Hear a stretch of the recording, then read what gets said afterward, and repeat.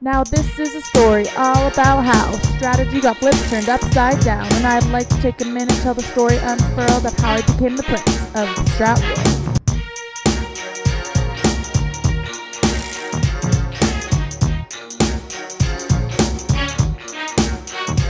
In Washington, D.C., born and raised, in the classroom was where I spent most of my days, learning, reading, studying all smart, and coming up with ways to turn knowledge into art.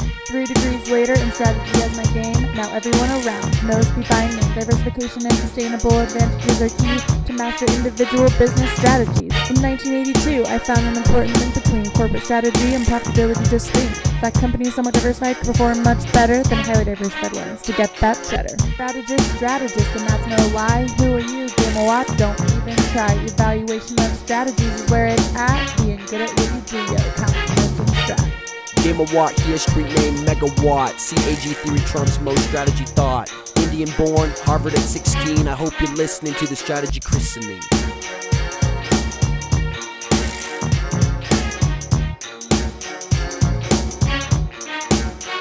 Theory tells about globalization, explaining economic causation and correlation, cultural, administrative, geo, and econ. These are the dimensions on which you should lean on. I rap about strat when epic rap battles remelts three life substance. See how the cage rattles? If anything, I could say that this jump's rare, but then I thought, nah, forget it, this competition's unfair.